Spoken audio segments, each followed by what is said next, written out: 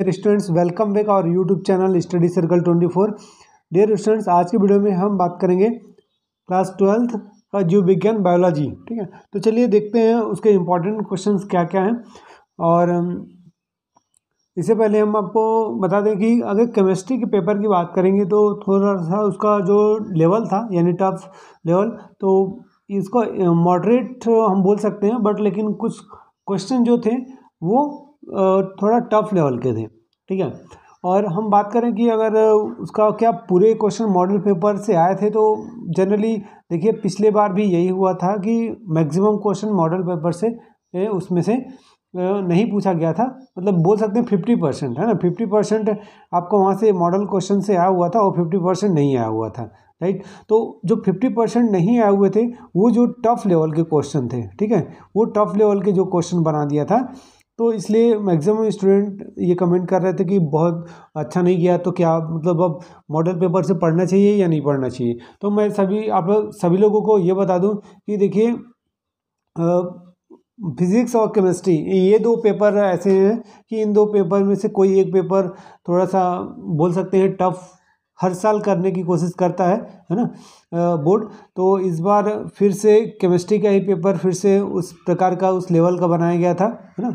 जिससे कि काफ़ी बच्चों को उतने अच्छे से नहीं बना पेपर, जितना अच्छा बाकी पेपर गए हैं। तो रही बात बायोलॉजी का तो बायोलॉजी बेशक आपको मॉडल पेपर से ही पढ़ना है, क्योंकि यहाँ से बायोलॉजी के क्वेश्चंस आते हैं। अगर मैथ्स के जो बचा हुआ पेपर, मैथ्स का भी क्वेश्चन मॉडल पेपर से ही आएगा, है ना? तो इसका टेंशन आप बिल्कुल नहीं लीजिए। अब पूरा फोकस ही लास्ट पेपर है आपका, पूरा फोकस आप इस लास्ट पेपर में आप करिए, ठीक है? बिल्कुल भी टेंशन नहीं लीजिए। और जो भी थोड़ा बहुत अगर आगे पीछे नंबर हो सकता है तो आप बिल्कुल ये जो बायोलॉजी बचा बचा हुआ है, इसमें आप पूरा एफर्ट डाल दीजिए, यानी हंड्रेड परसेंट आप इसमें दीजिए, ठीक है? तो चलिए देखते हैं इंपॉर्टेंट क्वेश्चंस। तो एक नंबर वाले जो प्रश्न है यहाँ पास, फ़र्स्ट है आप देख सकते हैं कि जेफ्टी यानी जी आई एफ़ टी का पूरा नाम बताना है। ठीक है? तो जिसका पूरा नाम क्या होगा? जय जायगोट और जायगॉट इंट्रा, फॉलन और ट्रांसफ़र, ठीक है? Fallopian transfer.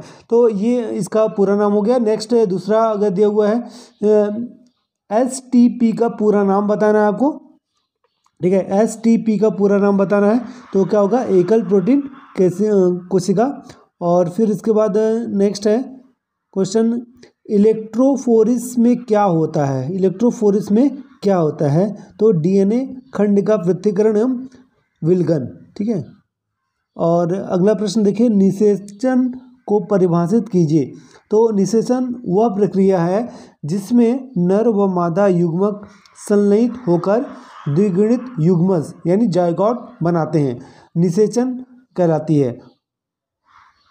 अगला प्रश्न है, पृथ्वी के फेफड़े के रूप में जाना जाता है। पृथ्वी के फेफड़े के रूप में किसे जाना जाता है? तो याद रखिएगा, अमेजन, है ना? अमेजन वर्षा वनों का, ठीक है? अमेजन वर्षा वनों को क्या कर पृथ्वी के फेफड़े के रूप में जाना जाता है। अगला प्रश्न देखिए, युग्मस क्या है? यानी जायगॉट व्हाट इज़ जायगॉट?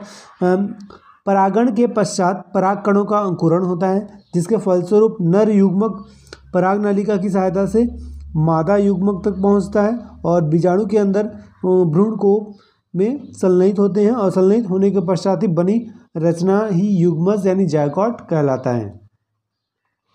तो ये इंपॉर्टेंट क्वेश्चंस हैं। इन सभी क्वेश्चंस को आप अच्छे से कंप्लीट करिए और जो डायग्राम वाले जो जितने भी क्वेश्चंस हैं, उसको आप बिल्कुल अच्छे से बनाइए, है ना? प्रैक्टिस कर लीजिए। और अब बिल्कुल भी ये मॉडल पेपर से आप क्वेश्चन करिए और साथ ही प्रीवियस ईयर के क्वेश्चंस बहुत अच्छे से लगा लीजिए आप, ना 2022 के और 21 के 21 बीस, इक्कीस, बाईस, ये तीन वर्षों के क्वेश्चंस आप बहुत अच्छे से लगाइए। और इसका पीडीएफ भी मैं आपको टेलीग्राम में भेज दूँगा।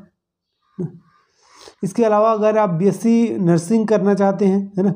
बीएससी नर्सिंग तो उसका मैं बता दूँ, आपको फॉर्म आ चुका है है ना? या फिर आप पीएटी पैट एग्रीकल्चर है ना? उसका फॉर्म फिल करना चाहते हैं, उसका भी फॉर्म आ चुका है।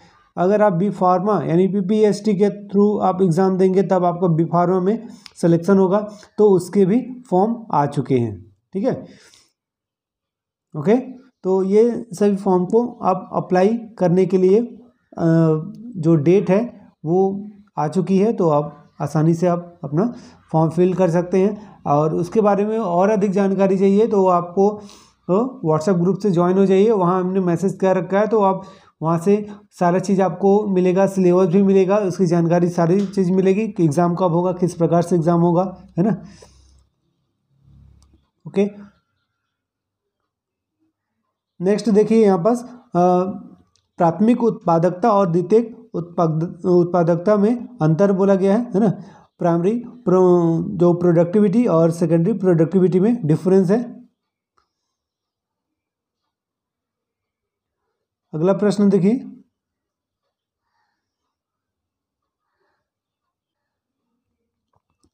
वायु प्रदूषण के कारण को स्पष्ट करके लिखना है आपको फिर ग्लोबल वार्मिंग का ग्लोबल वार्मिंग से बचने के क्या उपाय हैं उसे आपको यहाँ बताना है ठीक है? फिर है, यहाँ पास मानव इंसुलिन के उत्पाद में अनुवांशिक इंजीनियरिंग के योगदान का वर्णन करना है।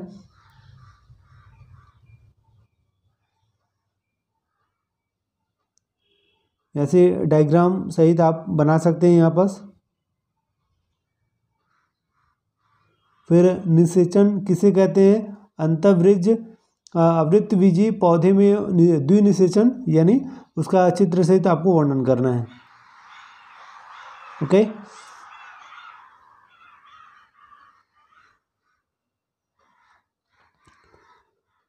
तो ये डायग्राम के थ्रू पीडीएफ आपको इसका व्हाट्सएप ग्रुप में मिल जाएगा।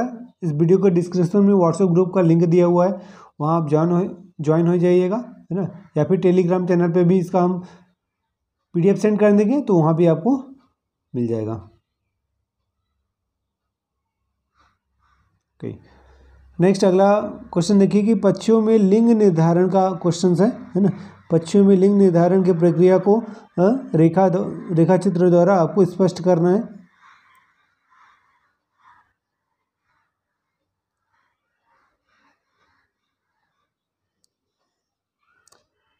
नेक्स्ट है, किसान दलहन फ़सलों का क्यों उपयोग करते हैं?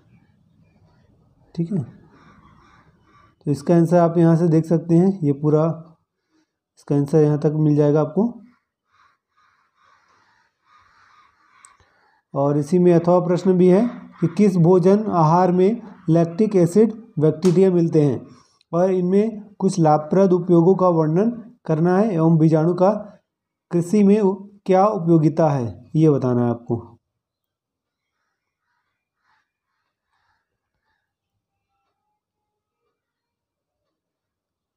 ओके स्टूडेंट्स यदि आप चैनल पर नए हैं तो चैनल को सब्सक्राइब कर लीजिएगा, साथ ही बेल आइकन का बटन प्रेस कर लीजिएगा। ओके तो मिलते हैं नेक्स्ट वीडियो में। आज के वीडियो में इतना ही। Okay good luck thank you